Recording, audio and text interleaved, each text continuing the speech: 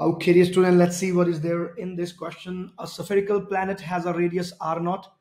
The graph shows the variation of gravitational potential due to the planet with the distance r from the center of the planet. Okay, so the rate variation is there. So it was clear the variation will be there. We know it from the topic itself. So in the theory classes, we have done this, that the graph will be looking like this. Okay, let's see. What is the escape speed from the surface of the planet? So you want to find the escape speed.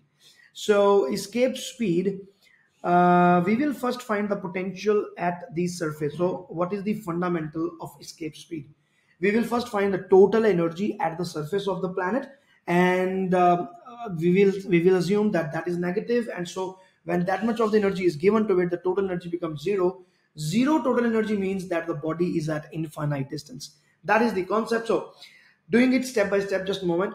Kinetic energy at this point is zero because the rocket is now sitting on the planet. So with respect to planet, there is no kinetic energy at all.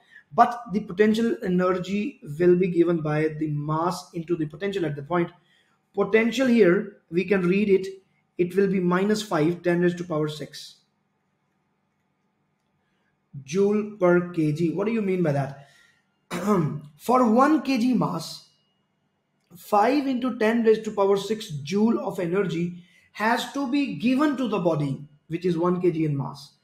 This much energy has to be given to the body so that the total energy becomes zero and the body goes to infinite distance. So now kinetic energy is zero, so the total energy can be found like this. M is taken as 1 kg in this question, so that is not a matter. This is the potential. So we can clearly say that the potential energy becomes negative 5 into 10 raised to power 6 joule, even if I'm multiplying it with 1 kg.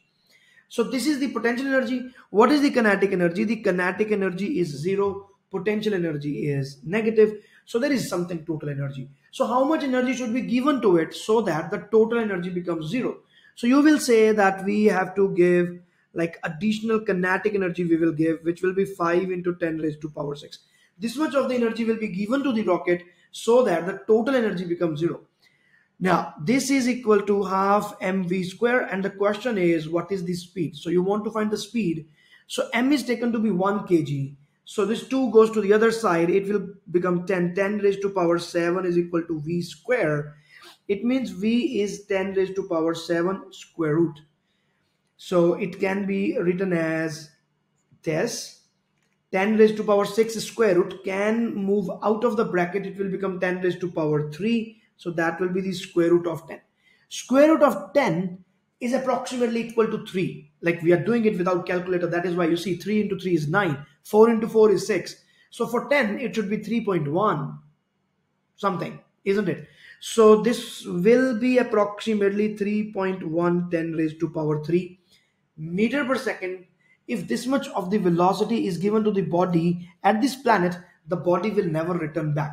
It will go out of the gravitational influence of the planet. Let's see what is the answer now.